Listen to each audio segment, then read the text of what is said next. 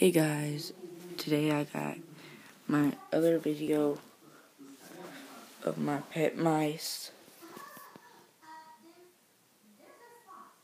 And this one will actually let me pick them up but the way you gotta pick them up is you have to put them in one of their tunnels them like that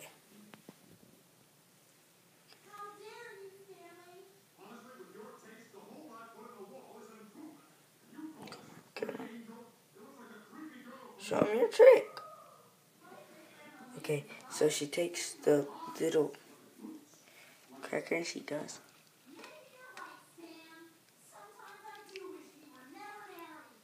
And nibbles on it.